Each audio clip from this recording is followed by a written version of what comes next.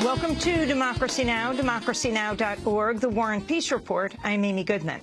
Iraqi officials say they're close to victory in an Iranian-backed offensive to reclaim the city of Tikrit from the self-proclaimed Islamic State.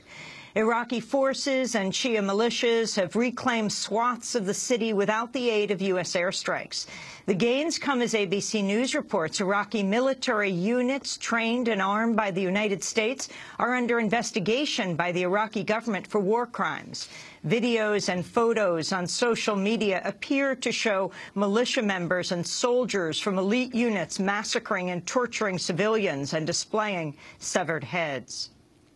A Syrian opposition group reports airstrikes by the U.S.-led coalition against ISIL have killed over 100 civilians. The Syrian Network for Human Rights said dozens of civilians have been killed in strikes targeting oil refineries, while 51 were killed in late December when U.S. aircraft struck a building housing an ISIL prison in al-Bab.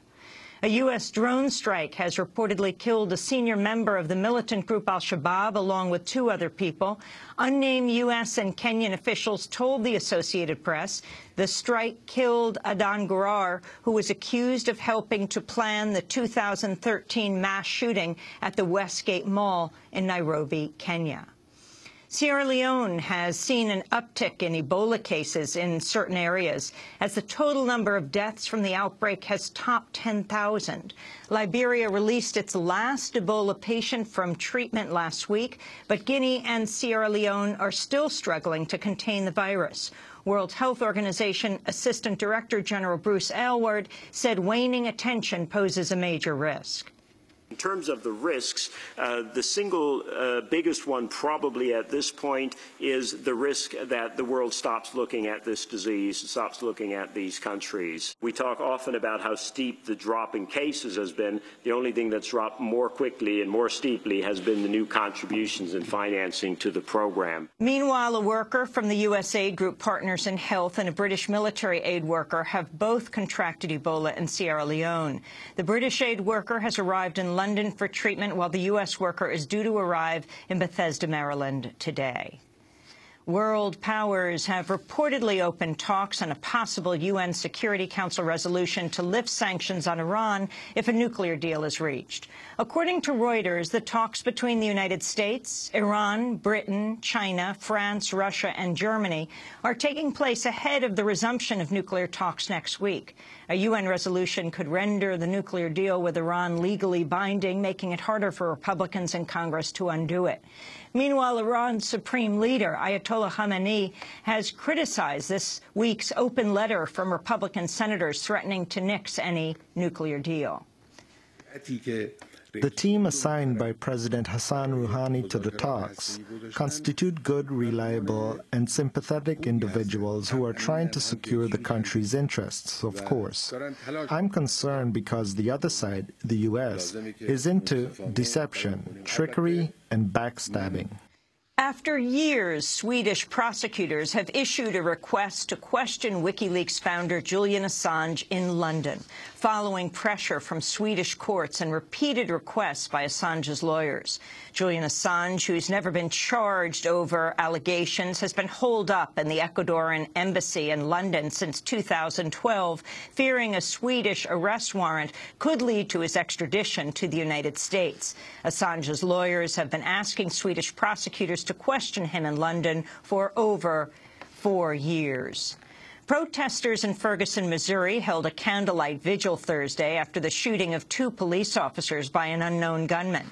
Both officers have been released from the hospital. The shots were fired during a protest outside the Ferguson Police Department, but police say the shooter was about 125 yards away. Attorney General Eric Holder condemned the shooting, which came on the heels of a Justice Department probe on rampant racial bias by Ferguson police. What happened last night was a pure uh, ambush.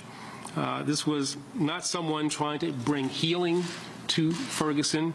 Uh, this was this was a damn punk, a punk, who was uh, trying to sow discord in an area that is trying to uh, get its act together and trying to bring together a community that has been fractured for too long. This really um, disgusting and cowardly attack might have been intended to unravel any sense of progress that exists, but I hope that that does not, in fact, happen. An email obtained by the Intercept news site reveals members of an FBI Joint Terrorism Task Force tracked details of a Black Lives Matter protest at the Mall of America in Minnesota last December. An email from St. Paul police officer and task force member David Langfellow cites a, quote, confidential human source who confirmed the date and time of the protest. An FBI spokesperson denied the agency has any interest in the Black Lives Matter campaign. New details have emerged about two Secret Service agents accused of drunk driving into a White House security barricade. The Washington Post reports the agents allegedly drove through an active investigation directly next to a suspicious package, which had been placed on the ground by a woman who claimed it was a bomb. While officers at the scene wanted to arrest the agents and test them for sobriety, a superior ordered their release without those tests. The Secret Service's new director, Joseph Clancy, who was appointed last month after a scandal over White House security breach, said he learned of the incident five days later. The agents have been identified as Mark Connolly, the second-in-command on Obama's security detail, and George Ogilvie, a top supervisor in the Washington field office, who issued a statement last year touting the agency's zero-tolerance policy for drinking. McClatchy Newspapers reports an accused torturer who served as a member of Chilean dictator Augusto Pinochet's secret police force worked for the Pentagon's top university for 13 years. Jaime Garcia Covarrubias returned to Chile last year. He remains there under a Chilean judge's order amidst a probe into his alleged masterminding of the murders of seven people in the weeks after the U.S.-backed coup that brought Pinochet to power September 11th, 1973. An alleged victim of Garcia Covarrubias said he used to wield a horsewhip while presiding over sexual torture and electric shocks. Despite repeated complaints over his past, officials with the State Department and Pentagon let him teach at the William J. Perry Center for Hemispheric Defense Studies, while immigration officials let him remain in the United States. The Chile story comes to light as a Palestinian activist accused of immigration fraud has been sentenced to 18 months in prison. A U.S. judge in Detroit called Rasmea Odeh a terrorist as he sentenced her for concealing her conviction on bombing charges by an Israeli military court more than 40 years ago. Odeh says her confession to the bombings was obtained through torture and sexual assault in Israeli custody. Her supporters say she was targeted by U.S. authorities over her support for Palestinian liberation. Odeh served as associate director of the Arab American Action Network in Chicago and has lived in the U.S. for 20 years. She'll be deported after her prison term. In Secaucus, New Jersey, more than two dozen people were arrested at the offices of the clothing retailer The Children's Place as they call for compensation for victims of the Rana Plaza factory collapse in Bangladesh. The Children's Place is among the retailers whose products were found in the factory's ruins, and protesters say they've contributed just 450,000 of the $30 million owed to workers' families. Next month marks the two-year anniversary of the disaster, which killed 1,100 people. Bangladeshi activist Kalpona Akter stood with 18-year-old Mahinur Begum, a survivor of the collapse, and called on the Children's Place to pay